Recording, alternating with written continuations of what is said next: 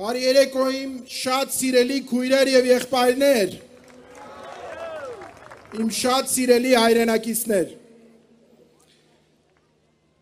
29 տարի առաջ այս օրերին համայն հայ ժողովուրդը սքում էր իր լավագույն զավակներից մեկի ազգային հերոս Մոնթե Մելքոնյանի մահը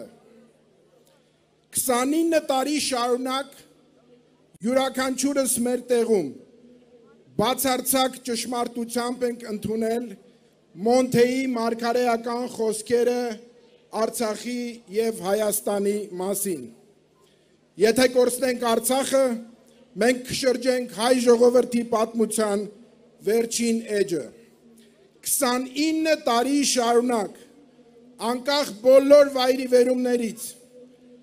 սխալներից, թերացումներից, բաց թողումներից հայության բոլոր հատվածները առաջնորդվել են այս գիտակցությամբ։ Եվ հենց այս գիտակցությամբ է դաստիարակվել 90-ականների հաղթանակած սերունդը։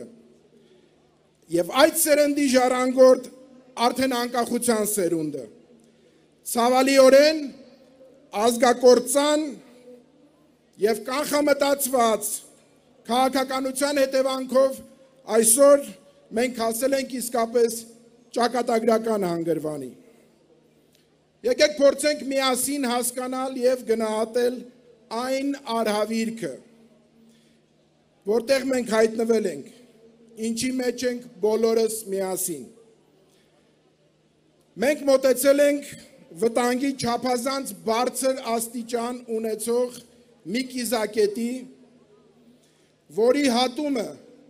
ուղակիորեն սպառնում է Հայաստանի Հանրապետության ինքնիշխանությանը, Արցախի Հանրապետության գոյությանը եւ վերջին հաշվով մեր պետականությանը։ Խնդրում եմ ինձ ճիշտ հասկացեք, սրանք լոգ բարեր չեն։ Եվ սրանք բնավ չեն ասվում իրականությունը առավել գորշ գույներով ներկայացնելու եւ դրանից ոմանց կարծիքով իհարկե, ինչ-ինչ նեղ անձնական օգուտներ քաղելու դիտավորություն կամ իրերը զգացմունքային տեսանկյունից մատուցելու ցանկություն։ Սա խիստ սառնասիրտ կշռադատված եւ խորը վերլուծության ենթարկված գնահատական է որի հետ ցավալիորեն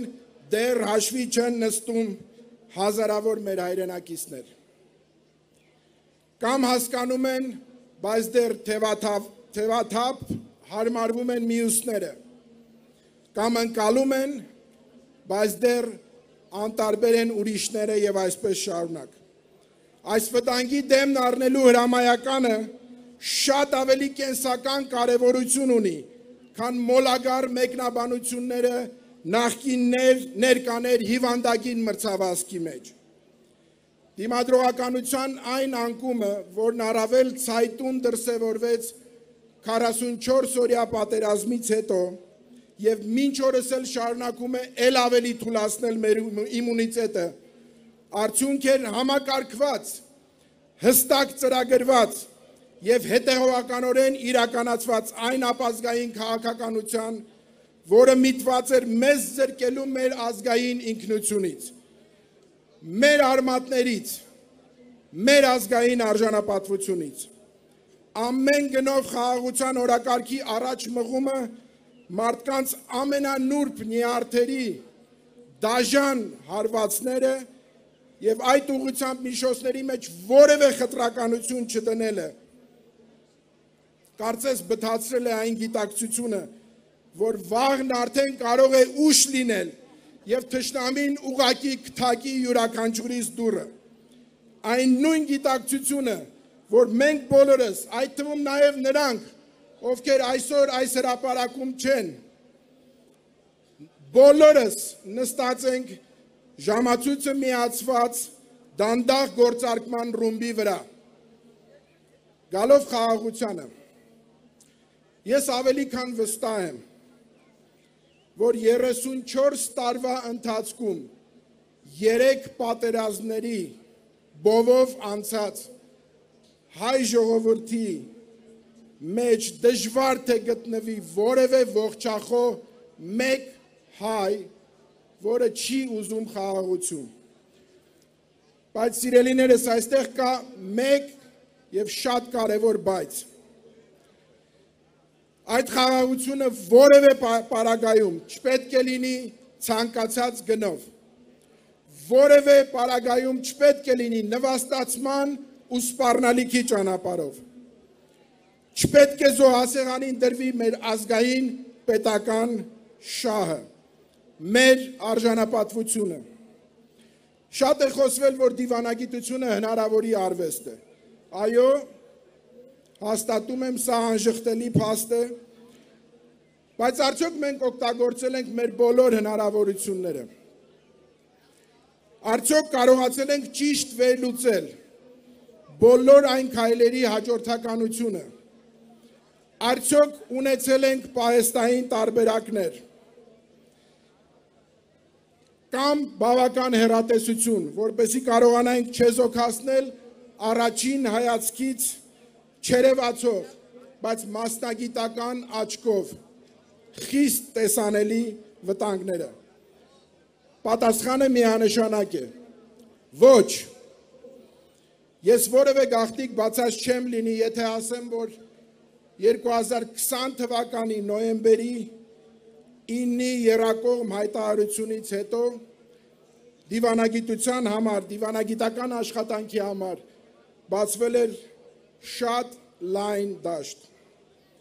Հավատացնում եմ ձեզ եւ սա առանց որևէ ավելորդ անհամեստության։ Նույնիսկ այդ դժվարին պայմաններում կային թեկուս քիչ, բայց բավականին ծանրակշիռ հնարավորություններ իրավիճակը որոշալի որոշակի շտկելու եւ հետագա անդառնալի կորուստներից խուսափելու համար։ Պարզապես հարկավոր էր ականջալուր լինել մասնագիտական կարծիքին, հետևողական աշխատանք տանել մեր ռազմավարական դաշնակցի եւ միջազգային միուս բոլոր գործընկերների հետ։ Մեզ համար շահեկան օգուտներ քաղելու եւ նաեւ ճիշտ դիրքավորվելու համար։ Փոխարեն ունեցանք խորը անվստահությամբ եւ կասկածամտությամբ լցված անհեթեթ դիրքորոշումներ, հայտարարություններ, անհիմն պարզաբանումներ, ինչին հաջորդեց արդեն բոլորիդ հայտնի արտաքին գործերի նախարարության վերնախավից ազատվելու գործընթացը։ Շուշացավ նաև իրենց հատուկ ոճով որակավորումը, որ Բարսաստիճան դիվանագետների քայլը մեջքից հարված էր, ավելին չզլացան նույնիսկ դա որակավորել որպես դավաճանություն։ Ծիծաղելի է իհարկե այս ամենը։ Սրանից հետո բնականաբար բացվեց այսպես ասած ազատ գործելու ճանապարհը, ինչի հետևանքները ցավալիորեն ճաշակում ենք միջև օրս։ Հատկանշական է, որ հերացած կամ համակարգից դուրս մնացած բոլոր դիվանագետները ունեին 25-ից 30 տարվա դիվանագիտական աշխատանքի հսկայական փորձ։ Հսկայական փորձ, որը մեկ օրում չի տրվում։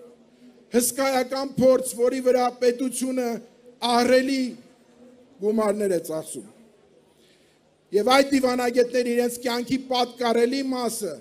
նվիրել են նոր անկախ Հայաստանի դիվանագիտության կայացմանը, ամրապնդմանն ու զարգացմանը։ Եվ ամենևին էլ զարմանալի չէ, որ զուգահեռ գործընթացները կյանքի կոչվեցին նաև պաշտպանական համակարգում։ Ավելորդ չի լինի նշել, որ այս երկուսը այն պետական հենասյուններն էին, որոնք շատ մանրակրկիտ մշակված եւ սինխրոնիզացված պետք է աշխատեին հետ պատերազմյան շրջանում։ Իսկ այսօր արդեն հայտնվել ենք այս ամենի արդյունքում մի մղձավանջում, երբ Արցախի պետական դրոշը դարձել է անարգանքի առարկա, այդ նույն դրոշը փոկում են, քերում են, դեն են շպրտում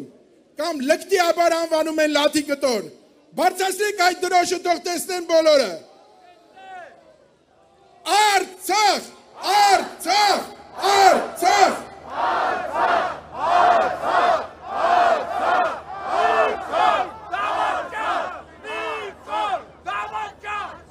Այն դրոշը, որն առաջնորդել է մեր բոլոր տղաներին, այդ թվում մեր Մոնթեին, մեր Թաթուլին,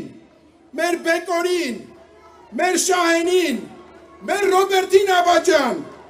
մեր Աբկարին Նազարյան, կենացու մահու կրվի, այդ նույն դրոշը, որի ներքո զայնի բարձր ու հատուկ տոնայնությամբ իլուր աշխարի աղաղակվում էր Արցախը Հայաստան է եւ վերջ։ Կարճ է ձեր հիշողությունը, պարոնայք։ Մերը ոչ կեղծ եւ սին են ձեր փաստարկները, ինչպես որ կեղծ է ձեր խաղաղության օրակարգը, կեղծ է ձեր ամեն ինչը։ Չի հաջողվելու ձեզ կյանքի կոչել ձեր ծածուկ ու դավադիր ծրագրերը։ Արցախը երբեք չի լինելու Ադրբեջանի կազմում։ Արցախը երբեք չի լինելու Ադրբեջանի կազմում։ Փաստ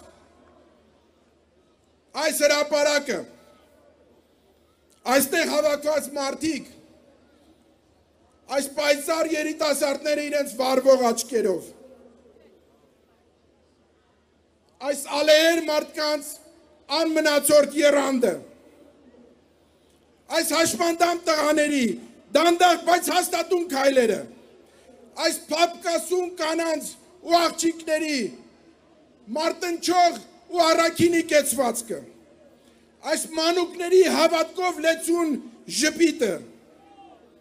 հերոս զավակներ կորցած ծնողների ցասումը այս պայքարը իր ողջ տրամաբանությամբ եւ խորը գիտակցությամբ մարում են փոքր կրակները, բայց երբեք հավերժները 88-ի ոգին երբեք չի մարելու Քանի կանք մենք բոլորս, որովհետև անկախ Հայաստանի Հանրապետության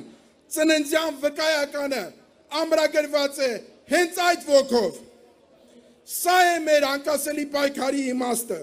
եւ սա պետք է դառնա մեր հաղթանակի գրավականը։ Ուրեմն միություն, պայքար, հաղթանակ, միություն, պայքար, հաղթանակ։ Rock Island. Rock Island.